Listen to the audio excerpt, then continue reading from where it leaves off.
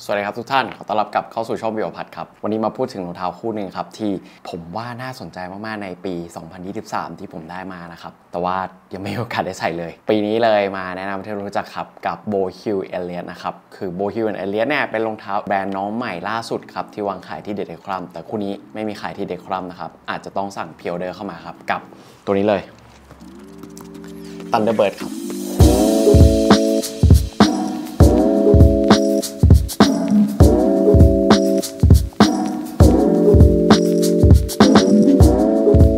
ต้องบอกอย่างนี้ก่อนว่าตัว b o h i l a n a l i a s เนี่ยคือรองเท้าแบรนด์น้องใหม่ล่าสุดที่เพิ่งเข้ามาขายในบ้านเราครับ ที่ร้าน Decorum นะ ตอนนี้มีขายอยู่ประมาณ 2-3 โมเดลนะครับ โมเดลที่น่าจะคุ้นหูคุ้นตากันแน่ ๆ เลย ก็จะเป็นโมเดล g a t i a n Loafer นะครับ ถือเป็นรองเท้าที่น่าสนใจมากๆ แล้ว Ethan Newton เนี่ยก็ถือเป็นผู้ที่ชื่นชอบสไตล์รองเท้าแบบนี้มากๆนะครับกับตัวสลิปเปอร์แบบ g a t i a n นะครับแต่วันนี้เนี่ยเราพูดกับอีกรุ่นหนึ่งครับซึ่งผมคิดว่าอาจจะไม่ได้เห็นใน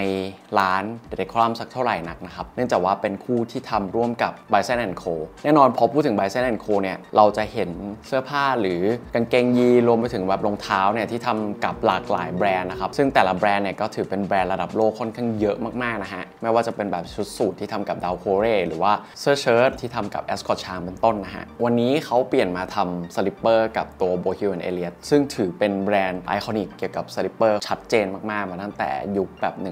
800 กว่าๆนะครับ เดี๋ยววันนี้มาพูดถึง b o h i l a n a l e สั้นๆครับ เพื่อนๆจะได้เข้าใจว่าไอ Bowhill & Elliott มันน่าสนใจแบบไหนนะฮะถ้าพูดถึงวงการผู้ผลิตรองเท้าในโลกใบนี้นะครับประเทศที่ผลิตรองเท้าหนัง ได้สูงสุดและเยอะที่สุดในโลกตอนนี้ก็น่าจะเป็นอยู่ที่ประเทศอังกฤษนะครับโดยเฉพาะเมืองอย่างนอร์ทแทมป์ตันนะครับแต่ว่าในสมัยก่อนเนี่ยจะมีเมืองอีกเมืองหนึ่งที่เป็น shoemaker เหมือนกันนะครับนั่นก็คือเมืองนอร์วิชนะครับหลายๆคนอาจรู้จักทีมฟุตบอลนะนอร์วิชซิตี้อะไรอย่างเงี้ยนะครับแต่ว่าที่นี่เป็นอีกหนึ่งที่ครับที่ขึ้นชื่อเรื่องการผลิตรองเท้า แล้วโบฮิวแอนเอเลียเนี่ยก็เกิดขึ้นที่นอร์วิชเช่นเดียวกันนะครับเริ่มต้นมาตั้งแต่ปี 1874 จุดเริ่มต้นของเขาเนี่ยเป็นจุดเริ่มต้นที่เกิดจากการผลิตรองเท้า bespoke นะแล้วก็รองเท้าบูทเป็นหลักนะครับเนื่องจากว่าสมัยก่อนเนี่ยยังไม่มีอุตสาหกรรมใดๆ ในการผลิตรองเท้าที่เหมือนณปัจจุบันนะที่มีเครื่องจักรต่างๆ คอยช่วยในการผลิตนะครับทุกอย่างจะผลิตด้วยมือทั้งหมดนะ เพราะฉะนั้นพูดถึงโบฮิวแอนเอเลียก็จะพูดถึงรองเท้า bespoke shoe เช่นเดียวกันครับพอก้าวเข้าสู่ยุคปฏิวัติอุตสาหกรรมก็จะเริ่มมีการผลิตรองเท้าเป็นแบบอุตสาหกรรมมากขึ้นใช่ไหมโบฮิวแอนเอเลียก็เลยก้าวกระโดดเข้ามาทำรองเท้าที่เป็น ready to wear มากขึ้นเช่นเดียวกันครับ พอผลิตรองเท้าเป็นแบบ ready to wear มากขึ้น ส่งผลให้การขยายตลาดทำได้ง่ายขึ้นเนาะจุดที่ทำให้โบฮิวแอนเอเลียประสบความสำเร็จด้านธุรกิจมากขึ้น เนื่องจากว่าผูกตัวเองกับรัฐบาลนะครับเกี่ยวกับการผลิตรองเท้าบูทให้กับทางทหารนะซึ่งอยู่ในช่วง South African War นะครับแต่ว่าพอพ้นจากยุคนั้นโบฮิวแอนเอเลียก็จำเป็นที่จะต้องแบบเลิกการผลิตรองเท้าบูทลงไปครับแล้วก็ค่อยๆ หามุมมองใหม่ในการผลิตรองเท้านะสิ่งหนึ่งที่ทำให้โบฮิวแอนเอเลียโด่งดังมากๆก็คือการปรับเปลี่ยนจากผู้ผลิตรองเท้าบูทตอนนี้มาผลิตรองเท้า slipper ในบ้านครับ เนื่องจากว่าช่วงนั้นมีความคิดเล็กๆน้อยๆว่าเฮ้ยคนน่าจะอยู่บ้านเยอะขึ้น ก็เลยมองหารองเท้าที่เป็นแบบ slipper ใส่ในบ้านง่ายๆมากขึ้นครับโบฮิวแอนเลียก็เลยเกิดไอเดียนี้แล้วก็ผลิตรองเท้าออกมาเป็น slipper ที่ใส่ง่าย ๆ ในบ้านครับผม ซึ่งช่วงนั้นเนี่ยก็เป็นช่วงที่โบฮิวแอนเลียเนี่ยกลายเป็นมีเอกลักษณ์โด่งดังมากๆ นั่นคือยุค 1960 ครับ แม้กระทั่งกษัตริย์เชื้อพระวงศ์ก็เลือกที่จะซื้อรองเท้าจาก Bowhill & Elliott ไปสวมใส่ในพระราชวังเป็นต้นนะฮะ ทีนี้พอคนใส่ slipper ในบ้านเยอะขึ้นเรื่อยๆ กลับกลายเป็นว่าเขาเลือกที่จะหยิบเอา slipper คู่ที่ใส่สบายนั้นออกมาบนถนนด้วยครับ ซึ่งนั่นเป็นการจุดประกายให้ Bowhill & Elliott เลือกที่จะผลิตรองเท้าเป็น street slipper ก็คือเอารองเท้านั้นนะครับออกมาทำพื้นเป็นพื้นยาง สามารถสวมใส่ได้นอกบ้านได้ด้วย อันนี้ก็คือเป็นจุดเก่งจุดแข็งของ Bowhill & Elliott นะครับก็คือการขยับตัวเร็วแล้วก็เปลี่ยนธุรกิจให้สอดคล้องกับชีวิตของคนนะปัจจุบันแล้วกันนะมาพูดถึงคู่นี้แล้วกันคู่ที่ผมมีนะครับคู่นี้ไม่มีวางขายอยู่ที่ร้าน The Decorum นะครับคู่นี้จำเป็นต้องสั่ง pre-order เข้ามานะคู่นี้เป็น b i s o n Co collaborate with Bowhill and Elliott นะครับอันนี้เป็น Black Velvet Venetian นะครับ with Thunderbird นะครับคู่นี้เป็น Venetian นะครับเป็นทรง Venetian ไม่ได้เป็นทรง Albert นะครับผมคิดว่าน่าจะเป็นคู่ที่คุณอีธานแล้วก็คุณเคนจิเนี่ยชื่นชอบเป็นพิเศษนะแล้วก็เลือกที่จะใส่ซิมโบลิกของ Native American เข้ามาคือ Thunderbird นะครับจริงๆ หลายๆท่านน่าจะพอรู้จัก Thunderbird อยู่บ้างแล้วนะ เล่าให้ฟังง่ายๆว่าเป็นสัญลักษณ์ที่ยิ่งใหญ่ที่สุด แล้วก็มีความหมายเกี่ยวกับ power นะครับ แล้วก็ protection รวมไปถึงแบบ strength นะครับ ก็คือเป็นทางพลังที่ยิ่งใหญ่ เป็นผู้ปกป้อง แล้วก็เสริมความแข็งแกร่งให้กับผู้สวมใส่นะครับ เขาเชื่อกันว่า Thunderbird เนี่ย เป็นวิญญาณที่ยิ่งใหญ่ที่สุดของ Native American เพราะฉะนั้นเราเขาก็เลยหยิบมาใส่ในตัวรองเท้าคู่นี้ครับ อันนี้เป็นสีดำที่น่าสนใจมากๆ เพราะว่าเป็น velvet ด้วยนะครับ เดี๋ยวหยิบออกมาให้ดูกันนะครับ กล่องก็ปกติเลยครับ เป็นสีฟ้านะครับ ด้านหน้าก็จะพิมพ์เป็นแบบ Bowhill & Elliott ด้านหน้าแบบนี้นะครับ เปิดฝามาก็จะมีถุงผ้าครับ ถุงผ้าแบบ Bowhill & Elliott แบบนี้ครับ เอาไว้ใส่ไปเที่ยวต่างประเทศนะตัวนี้เป็นตัวรองเท้าครับ ซึ่งผมใส่ไปบ้างแล้วนะ อันนี้หยิบมาให้ทุกท่านได้ดูกันนะครับ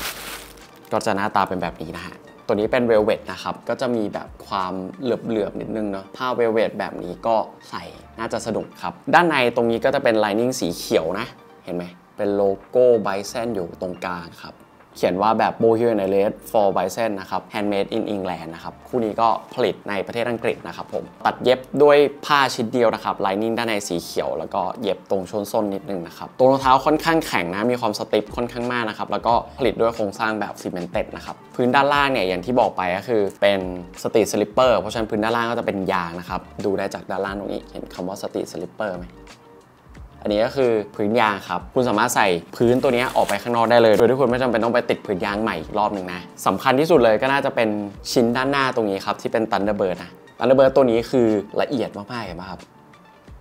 มันเป็นแบบการเย็บที่ละเอียดสุดๆเลยครับ เย็บแบบละเอียดมากๆ detail ดีมากๆนะครับ แล้วก็เย็บเป็นแบบสีเงินสะท้อนแสงแบบนี้ด้วยนะครับ มันก็เลยตัดกับสีดำสวยงามมากๆนะ เท่ ตอนแรกผมเห็นแล้วผมรู้สึกว่า เอ้ย มัน มันเท่ดีนะ เห็นจากเคนจิใส่ครับคุณเคนจิก็ใส่คู่กับกางเกง surplus นะครับ ก็จะเป็นกระเป๋าเยอะอยู่ด้านข้างนะ หรือบางท่านก็จะเลือกใส่คู่กับกางเกงยีน ซึ่งผมว่ามันก็เข้ากันดี แต่ว่าบุคคลที่ทำให้ผมรู้สึกว่า เออ มันน่าจะใส่ง่ายจริงๆ ก็คือพี่บอลครับ พี่บอลเอาคู่นี้มาใส่เป็นคนแรกๆในประเทศไทยเลยนะ เท่าที่ผมเห็นนะครับ แล้วก็เลือกใส่กับกางเกงเทาเซอร์สีเทานะครับ มันดูเหมือนจะใส่ยากแต่จริงๆมันใส่ง่าย แล้วทรงมันสวยนะ คือทรงมันมีความโค้งเว้าเห็นไหมครับแต่ลักษณะแบบเวเนเชียนมันก็จะมีความเท่แบบนี้นะครับ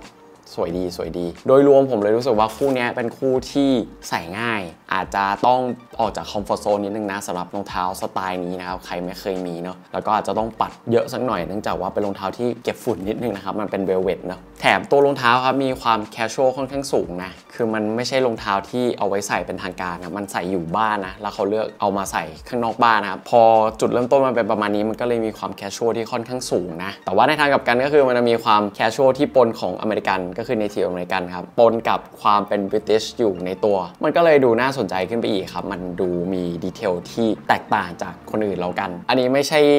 คู่ที่สวยที่สุด แล้วก็ไม่ใช่คู่ที่โด่งดังที่สุดของตัวโบฮิวเนเลียแต่ผมว่าเป็นคู่ที่แตกต่างที่สุดคู่หนึ่งอันนี้ทำกับ b บ s ซ n Co ครับ ก็ต้องขอขอบคุณคุณเคนจิกับคุณอีทันด้วยนะครับ ที่ผลิตรองเท้าเท่ๆ แบบนี้ออกมาวางขายนะครับผม คู่นี้ไม่มีขายในไทย สิ่งเดียวที่คุณทำได้ก็คล้ายๆผมครับ อาจจะบินไปเมืองนอก คือบินไปฮ่องกงนะอันนี้น่าจะมีสต็อกที่Bryceland's & Co ที่ฮ่องกงนะครับผมหรือวิธีที่ง่ายกว่านั้นก็คือฝากให้ The Decorum ช่วยสั่งให้ครับ คู่นี้อยู่ที่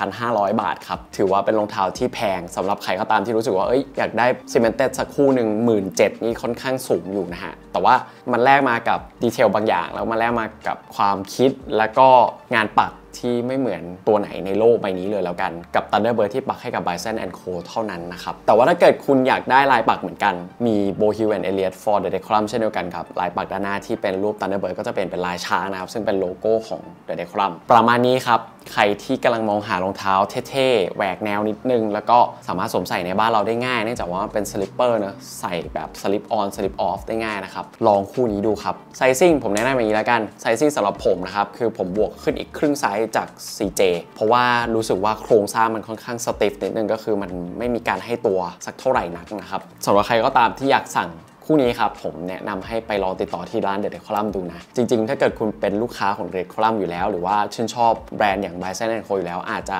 ขอสั่งซื้อได้นะครับ ก็น่าจะเป็นการแบบสั่งพ r ออเดอร์เข้ามานะฮะ คลิปนี้แค่นี้ก่อนฝากกด subscribe กดกระดิ่ง แล้วก็กดไลค์ให้ด้วยครับ แค่นี้ครับพบกันใหม่คลิปหน้าสวัสดีลาไปก่อน สวัสดีครับ